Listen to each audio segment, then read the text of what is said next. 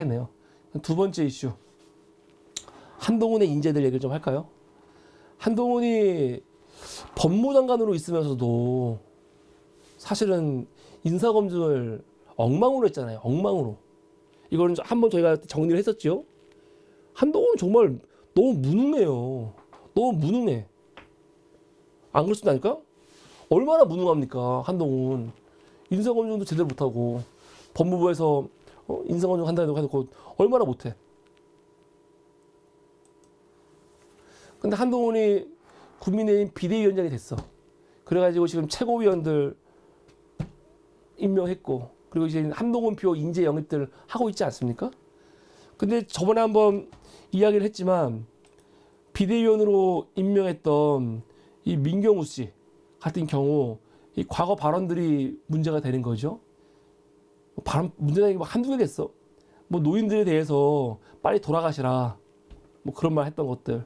그리고 또 우리가 일, 일제 식민지 시대와 관련해 가지고 일제 식민지 시대 관련해 갖고 우리를 식민지 했던 사람이 누구라고?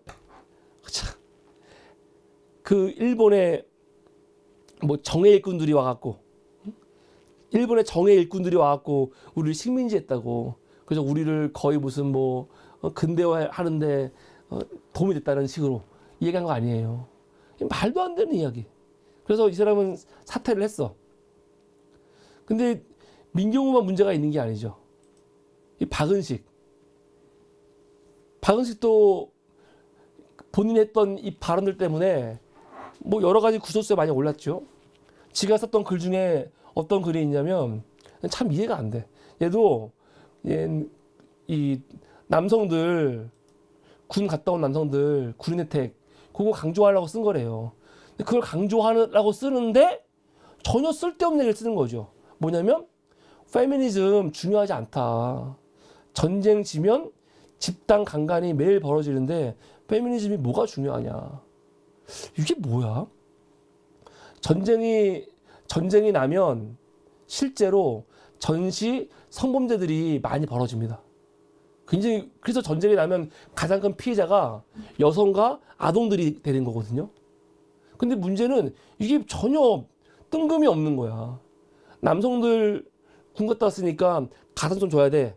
그런 이야기를 하려고 쓰는 건데 그러면서 페미니즘은 쓸 데가 없어. 왜 쓸 데가 없냐? 전쟁 나면 집단강가 벌어지는데 있어서 뭐 할 거야? 이게 논리가 돼요? 한심한 새끼. 근데 최근에 또 기사가 나왔죠. 개새끼. 뭐라고 합니까? 이 새끼는 이승만을 굉장히 높이 평가하는 사람이니까 이승만 막 찬양하려고 하다 보니까 어떤 말이 나왔냐? 김구는 폭탄 던지던 분인데 국제 정세와 나라 돌아가는 시스템 잘, 알, 잘 알까? 야, 어떻게 이런 말을 하죠? 이 새끼가 쓴 SNS에 광주 청년의 좌파 탈출이라는 이게 있어. 얘가 아마 광주 출신인가 봐요.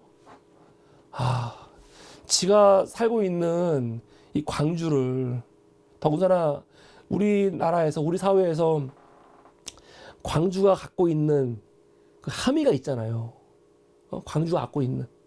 그런데 그런 광주 출신으로서 어떻게 이따 얘기를 쓰죠? 광주 청년의 좌파 탈출기.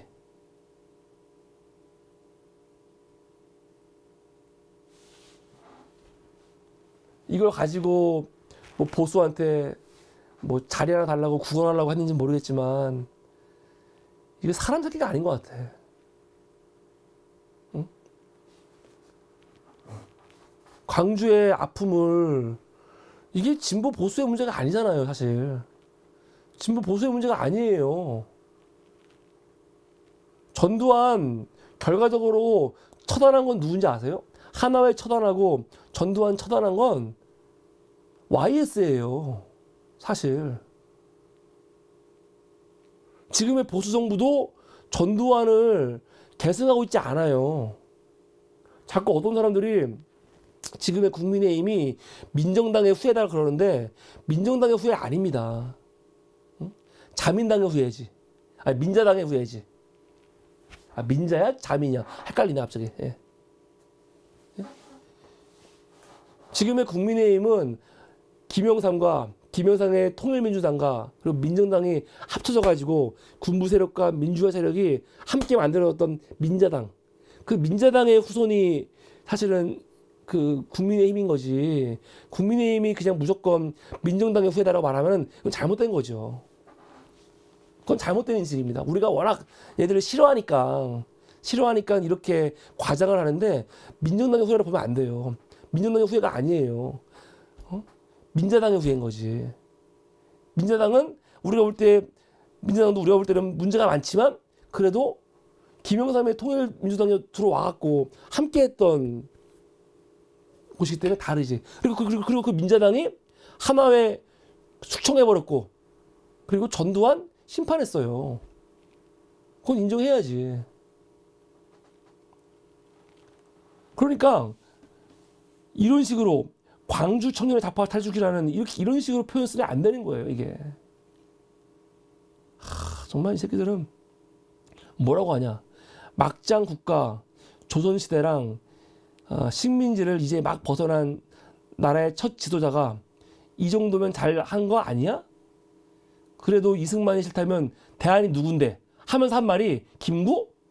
폭탄 던지던 분이 국제 정세와 나라 돌아가는 시스템 잘 알까? 미친 새끼.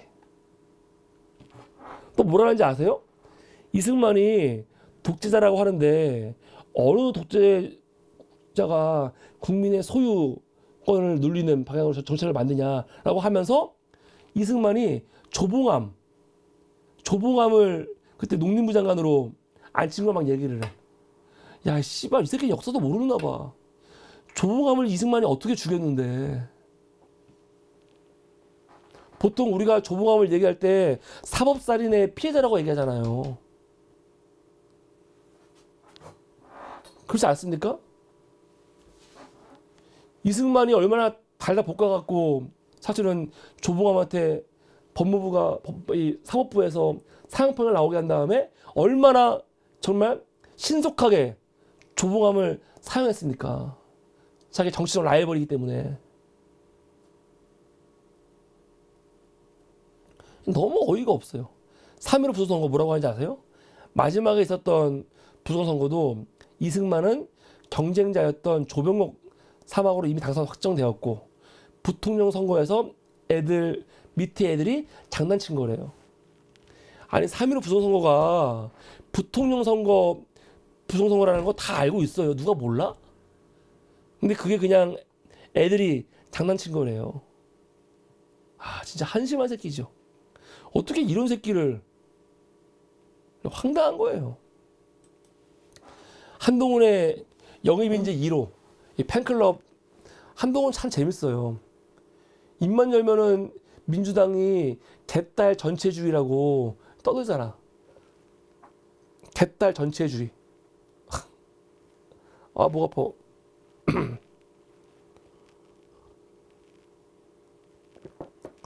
개딸 전체주의라는 게 뭡니까?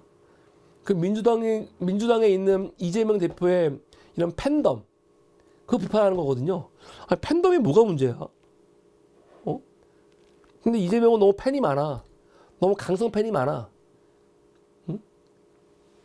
그거 욕, 욕하는 거거든. 그거 욕하면서 개딸 전체주의 얘기하는 거예요. 우리는 그런 팬덤 정치 싫어. 근데 이 새끼 한동안 보세요. 가는 곳마다 막, 아, 나 팬들 많다라고 막, 신나가지고 사인하다가 기체 놓쳐버리고 그지를 하잖아. 그것도 뭡니까? 지 팬, 팬클럽 회원을 1호 인재로 영입한 거 아닙니까? 이거 얼마나 웃겨요. 얼마나 웃겨. 개딸 전체주의를 비판하고 떠드는 새끼가 지 팬클럽 회원을 1호 인재로 영입을 했어. 물론 국민의힘에서는 아 이거는 관계 없다라고 얘기하지. 근데 한동훈 지가 내 뱉었던 말들이 있으니까 이거 다 비교해 보면 다 비교해 보면은 야 이거 좀 이상하잖아. 이러면 안 나오겠습니까? 근데 이 인재 영입 1호 박상수 변호사도 어우씨 막 어제 오늘 보니까 기사가 쏟아지죠. 다 과거 했던 발언들이에요. 나는 좀 그래요. 과거 했던 발언들 이렇게 자기들 그냥 하고 싶은 말 다 하고 했던 사람들 있잖아요. 그런 사람들은 그냥 그렇게 살면 돼 열심히. 하던 대로. 왜 정치를 하려 그래? 좀 이게 이해가 안 돼요. 보세요. 한국일보. 박상수가 뭐라고 했냐? 신도시 맘들이 부동산 상승기 이윤성으로 목돈을 굴렸다. 야 이게 뭐냐면은 지난해 7월 달에 이런 글을 썼대요 페이스북에 여성들이 그러니까 그 신도시 맘카페에는 부동산 상승기에 기획 기획 이혼 소송이 터져나왔대요 기획 이혼 그러니까 여, 여, 여 자들이 어 아 남편한테 요번 기회에 돈 많이 받고 응? 그리고 또 뭐 양육비 뜯어내 가지고 한몫 챙겨야지 하는 여성들의 이야기를 하는 거예요. 여성들이 오른 아파트 값에서 목돈을 재산 분할로 받고 양육비를 아이 한 명당 150만 원씩 받아내면 한 달에 300만 원씩 받으며 목돈을 굴리고 새 인생을 살 수가 있다. 이렇게 주장을 했대요. 이거 맞습니까? 아, 야, 대단, 대단하죠. 근데 얘가 만들었던 이 카페가 있대요. 로이너스라는 온라인 커뮤니티가 있는데 거기는 로스쿨 재학생 또 로스쿨 출신 변호사 한 2만 명이 가입해 있대. 굉장히 큰 거죠. 근데 난, 난 깜짝 놀란 게, 난 기사 보고 알았는데, 이 로이너스라는 커뮤니티에는, 네? 지금 로스쿨 출신 변호사들, 재학생들이 가입돼 있는 곳이거든요. 근데 여기서 이렇게 엄청나게 여성 혐오, 인신공격 글들이 올라온다는 거야. 여자는 잠재적 성매도 측. 여성을, 여, 여성을 그냥 성적 대상으로만 보는 거죠. 그러면서 하는 말, 로톡에 가입한 변호사들은 어, 아프간에 파병시키고 강간을 당하게 해야 한다. 페미니즘은 공산주의 같은 것으로 경쟁에 도태된 사람들이 공산주의에 찬, 찬동한다. 예쁜 여자는 페미니즘을 하지 않는다. 서른 살 전에 결혼을 못하면 아, 결혼 못하고 아기 안 낳으면 남녀 불문 아웃한강을 보내야 한다. 야 대단하지 않습니까? 아요 이야기를 박상수 씨가 쓴 게 아니고 박상수가 운영하는 온라인 커뮤니티에서 이런 식의 여성 혐오, 인신 공격 글들이 많이 올라온다는 거죠.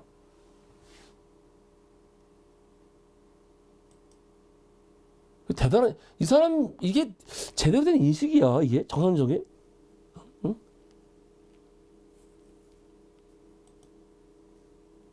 그리고 또 또 어떤 얘기를 했냐? 난 국민의힘의 그 60대 70대 노인분들 분노해야 돼요. 이 박상수가 또 뭐라고 했냐면요. 60년대생 이상. 그러니까 60년대생이면 63살 이상입니다. 그 사람들은 꿀빨러들이죠 꿀빨러 고생하지 않고 편하게 이득을 본 사람들. 기성세대가 약, 기성세대가 약속한 최상단의 코스를 밟아도 나이 마흔에 결혼하여 아이 기르고 집안채 마련하는 것도 보상받지 못하는데 어떻게 분노하지 않을 수가 있는가? 그러니까, 그러니까 박선수는 뭐라고 하냐면 지금 60년대 이상, 어, 63살 이 어른들 그분들은 그냥 꿀빨로 고생도 하지 않고 너무 편하게 살면서 이득을 본 사람이고 그 사람들이 모든 것들을 다 가져왔기 때문에 지금 40대들 저도 포함되거든요. 우리 같은 사람들은 지금 어? 열심히 일해도 돈도 못 벌고 집 하나 사기도 집, 집 하나 어, 사, 사는 것도 어렵다 하면서 지금 60년 대생을 꿀빨라고 하고 있는 거야. 맞는 말입니까? 아니 지금 집값이 많이 올랐죠. 물론 우리 앞세대들이 부동산 문제 제대로 못 해가지고 집값 오른 거 맞아. 비판해야지. 근데 문제는 이게 그냥 60살, 63살 이상 먹은 그 노인들의 문제인 거예요? 이게? 그리고 더군다나 제가 항상 하고 싶은 말이 뭐냐면 세대 문제는 딱 갈라 있는 게 아니죠. 박상수 네 부모가 네 부모야 이 사람들이 네 부모 네 부모라고. 너는 부모 어디서 태어났냐? 네 부모라고. 그리고 너는 네 부모의 재산을 어 그 유산을 받지 않을 거야? 이 문제를 단순히 막 세대로 잘라가지고 어, 60년대 이상은 빨, 뭐, 뭐, 꿀 빨려고 뭐 20대들, 30대들은 다 힘들고 이렇게 볼 문제가 아니라니까요. 세대가 같이 가는데.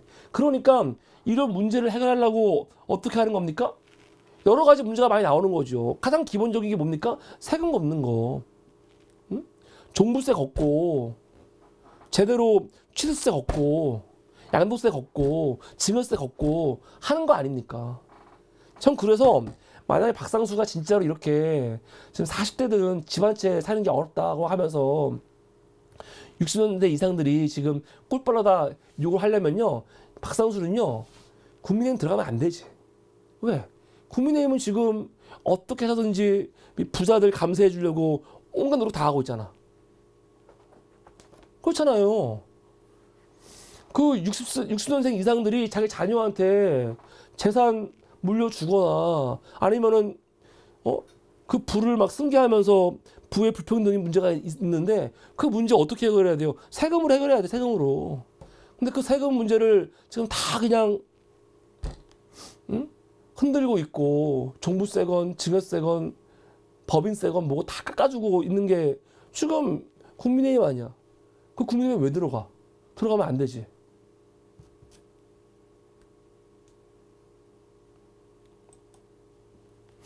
오늘 시사전에서 단독 보도가 나왔어요. 이거 진짜 큰 문제입니다. 이 박상수가 가명으로 로스쿨 입시 강사 활동을 했다는 거예요. 그러면서 조세 포탈이 의심된다. 변호사법에 보면은 38조에 뭐가 있습니까? 겸직 제한이 있어요. 겸직 제한. 무조건 다른 일을 못하는 건 아니고 만약에 소속 지방 변호사회 허, 가가 있으면 일할 수도 있지만 허가 없으면 상업이나 그 밖에 영리를 목적하는 목적으로 하는 업무를 경영하거나 어? 일을 경영하는 자에 사용이 되는 거 안 됩니다. 다른 일 못 해요. 변호사들은 특별한 일이 아닌 이상 변호사들은 겸업을 할 수가 없어요. 왜 그렇습니까?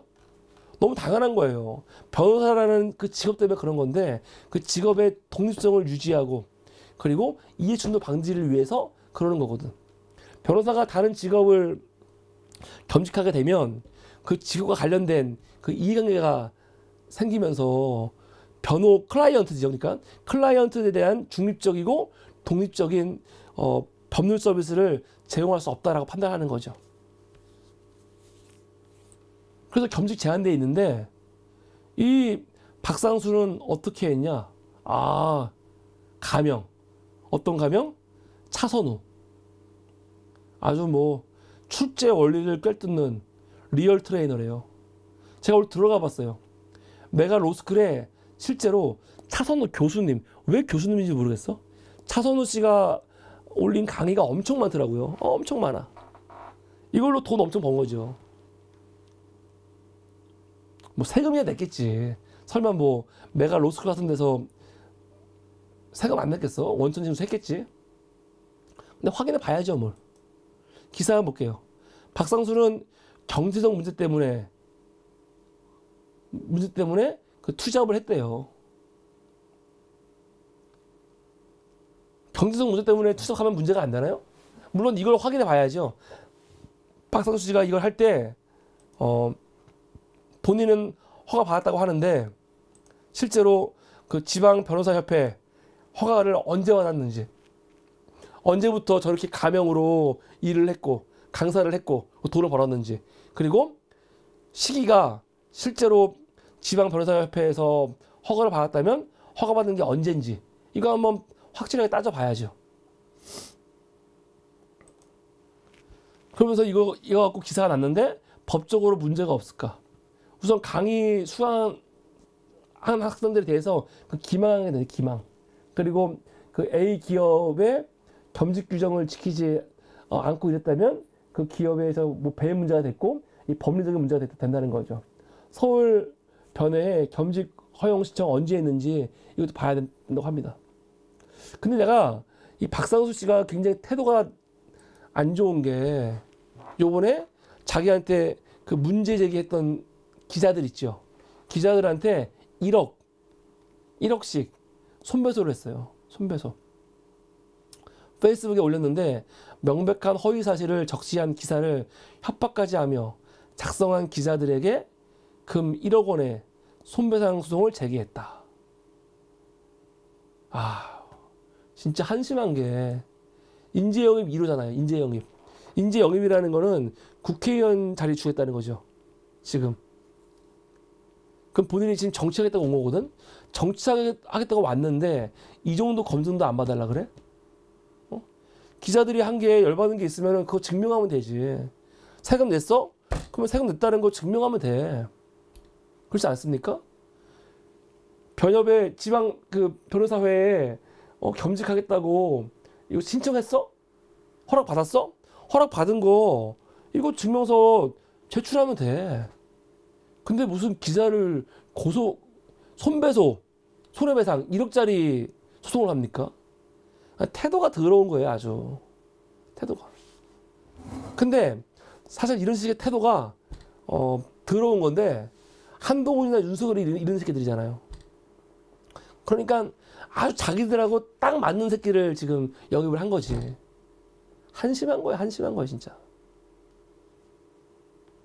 아, 너무 어이가 없습니다. 그래서 한동훈이가 비대위원장 되면서 뭐라고 했냐면 자기는 정말 좋은 사람들을 앞으로 응? 뭐 인재 영입하겠다 했는데 좋아갖고 인재 영입할 사람이 누굽니까? 이상민, 이 박상수 같은 사람들. 야 앞으로 또 뭐가 나올지 너무 기대가 돼요. 네, 너무 기대가 됩니다. 네, 여러분 오늘은 여기까지입니다. 이게 두 번째 이슈였습니다.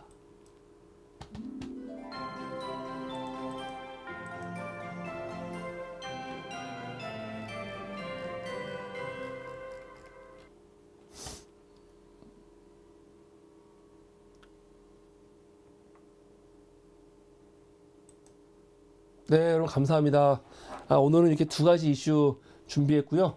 아, 매우 부족하고 참 아, 허접한 방송이지만 여러분 방송 보시고 사물이 앞으로 더 열심히 해, 어, 계속 열심히 해 응원하시는 분들은 그 좋아요와 구독과 함께 밑에 그 시청료 월세트기로 함께 하시면 사물이가 더 큰 힘이 아, 날것 같고 또 지속 가능한 방송이 가능합니다. 아, 부끄럽습니다, 여러분들.